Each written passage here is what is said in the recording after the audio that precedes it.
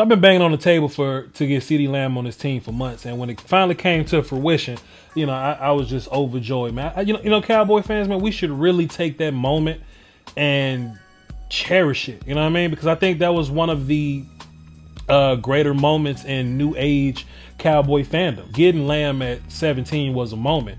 So much to where shouts out to YouTube too, because that's our little like that's our like time machine, right? I'm probably gonna be an old man one day.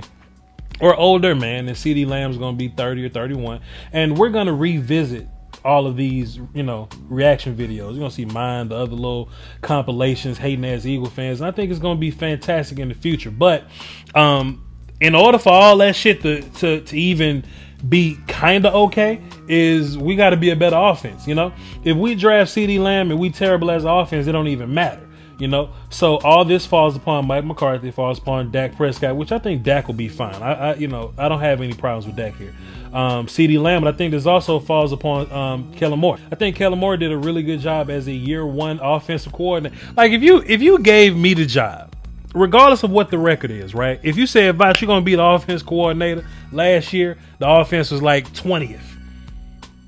I'm the offense coordinator for 16 games. Now we number one. You know what I mean? I think it's something to that. I think the the team can be better as an overall team type of deal. You know what I mean? But in terms of offense, I think Kellen Moore did a fantastic job. But every year we get different teams. This team ain't gonna be that team. So the first thing I recommend to Kellen Moore is to trust Blake Jarwin. You know, um, on a legacy standpoint, he ain't Jason Witten, but in 2020, he's absolutely an upgrade at tight end, right? And I'm glad we didn't we didn't draft one necessarily, um, because if you look at Blake Jarwin when we trusted Blake Jarwin, like you know whether it be dropping three three touchdowns on the Giants or whatever, getting vertical catching passes, being that receiving tight end that we want. You know, of course, when it's time for blocking duty, we'll get Blake Bell and some of our younger guys involved or whatever. But in terms of receiving tight end, Blake Jarwin is an absolute upgrade over Jason Witten. He's a better route runner. He, you can get a lot more vertical with him. And when I say route run, I don't mean that that three yard option that Witten's only really good at. I mean like in in terms of nuanced route running Witten caught passes with people draped on his hip. Jarwin is actually fast enough to get away from people. Like he's fast enough, he's route running enough to get away from people. He's a former he's a former receiver. He's just a big ass receiver, right? So when I, and also too, I think sometimes with Witten, I think when we were getting in a rhythm and we was kind of getting explosive and we was moving around a little bit, you know, we'll get a chunk play here, chunk play there. Witten will catch the ball at two yards and fall down in slow motion. Or he'll Y'all know the one I hated with Witten is when he caught the ball and somebody will wrap him up and they'll just run together because they couldn't tackle him. Right? But it wasn't forward progress or whatever. They just stop where you at and they just run, run, run. I hated that. Hated that mess, man. Fall down. And then when he did fall, he fell in slow motion. But when it came to Jarwin, he was actually getting downfield. He was working the seams. He was he was a mismatch on those linebackers or whatever. I think as long as we don't forget that Jarwin is the upgrade in terms of speed and downfield productivity, receiving and all that, this offense will be even better than it was last year. It's hard to be better than you were last year.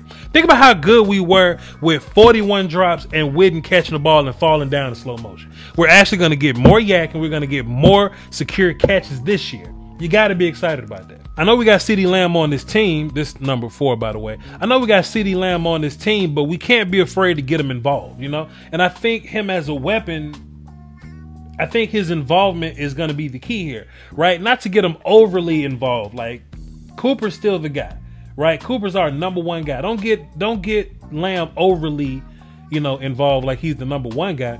But in terms of use your mismatches, man, put him on those third corners, put him in the backfield versus some of those safeties, you know, let him run your option stuff, let him be jet sweep guy, use CeeDee Lamb, let him be quick game guy. Don't let him come in and do nuance super experienced receiver things now. We got plenty of time for that. He's going to be the best receiver on this team, and in my opinion, one of the best receivers in the league his third, fourth, or fifth year. We got time, relax. But as of now, and possibly even next year, right? Let his let his routes be simple, let his job be relatable, let him soak all that in, and let him do things that we know he can do day one. Let him run up them seams, let him mismatch people, let him catch the ball quick and avoid people. That's what CeeDee Lamb's really good at. As long as we're clear with our involvement on Lamb, even more improvement. I think he can be better than what than what Cobb was. You know, so I think as as as as long as we have a have a really good role defined for Lamb, I think we'll be good for him. Um, Randall Cobb had like ninety something targets, fifty something catches last year. Just move him to Lamb. Just move all that over to CeeDee Lamb, and we'll have three thousand yard receivers this year before you even know it. So number three, right? Um, first and foremost, let me say this: it's impressive to get CeeDee Lamb in general. To get him at 17 is impressive even if your receivers was like Allen Hurns and Deonte Thompson and Lance Lenoir, even Terrence Williams, if those were your guys and CeeDee Lamb came into that, you feel really good about it. Cooper's your number one guy. You feel really good about that. But what makes this thing so special is that Michael Gallup is also what we would consider a 1B receiver. So for my number three tip is don't forget that Michael Gallup's fantastic, right? Like we know Cooper's fantastic. We know Lamb is going to be that guy. But don't be afraid to keep Gallup involved. Because when we needed a guy that wasn't Amari Cooper, Gallup was that guy last year. Michael Gallup caught 66 passes for 1,100 yards and six touchdowns last year. I know he can improve on that, right? So this ain't really about oh well we added Lamb that's gonna take passes away from Gallup. Nah, you added Lamb, but you took Cobb away. You took Witten away. So I think there's even more passes to go around. You know what I mean? Um, Witten was a safety valve, so I don't think we get as many passes to the tight ends as we would get uh, with Jarwin being there. I, just, I, I think Jarwin gets bigger plays. I don't think Jarwin gets as much volume as Witten did. But man, it's gonna be don't don't, don't think that it's not enough passes to go around. M- Michael Gallup gonna get so many passes this year, man. But let's not forget Kellen Moore and Cowboy Nation. I know people in my comment section, people in my chat box. I know y'all intelligent, so I know y'all ain't forget because y'all the best. Y'all the best comment section. Y'all the best audience on YouTube right now. So I know y'all didn't forget. But I know it's a lot of people that that that are gonna forget how special Michael Gallup is. CeeDee Lamb is cool, but CeeDee Lamb is fantastic because Amari Cooper and Michael Gallup are in play. Number two is that we've got to be creative with Tony Pollard, man.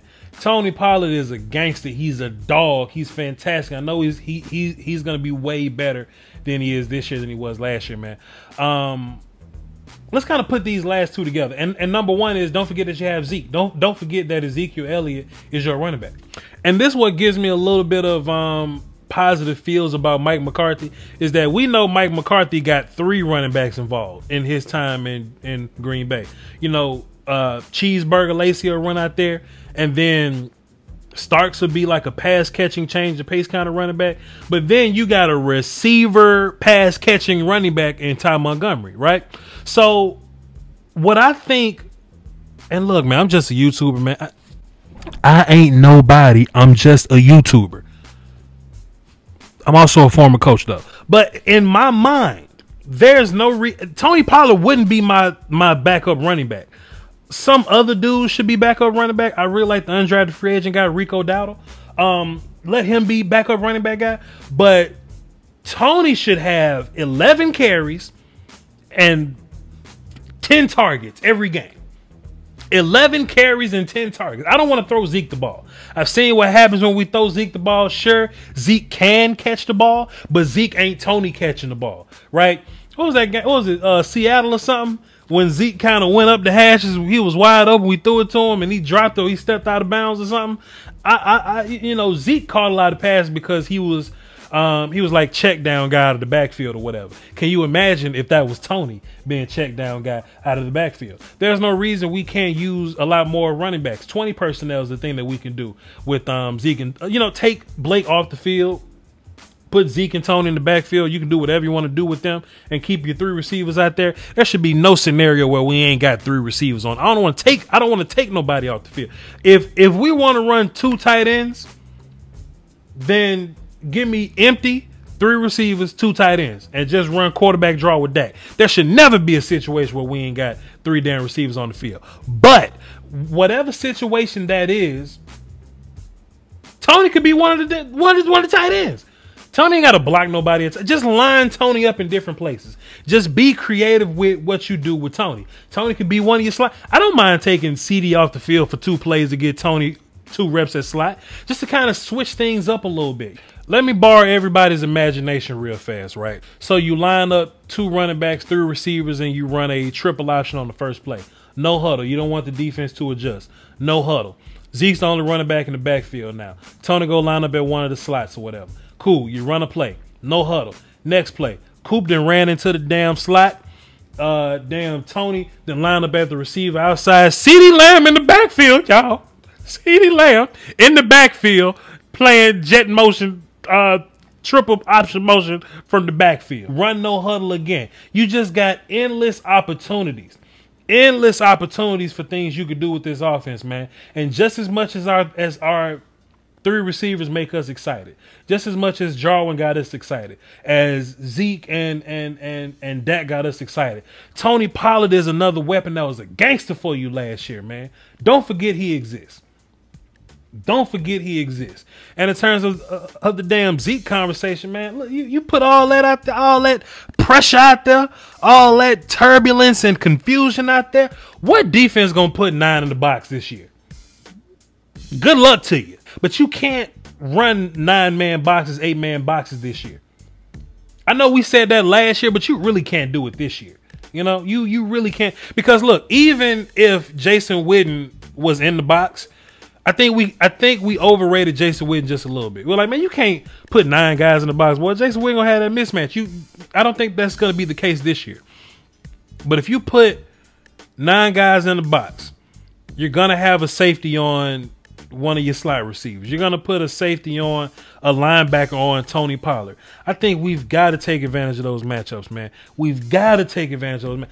Like if you, if you, if even if you line up in nickel because you say, oh, we can't let these receivers beat us.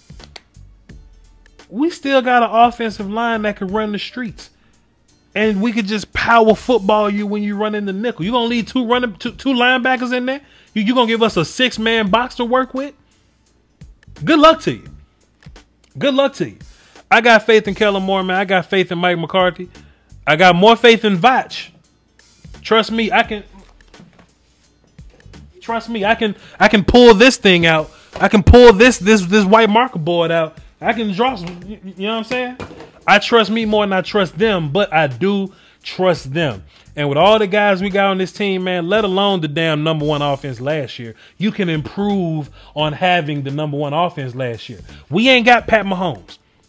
And I know there's a lot of Cowboy fans that that tend to think that, oh, Voch, you you you can't win a Super Bowl unless you got Pat Mahomes. There's a lot of I am legend monsters that think that way.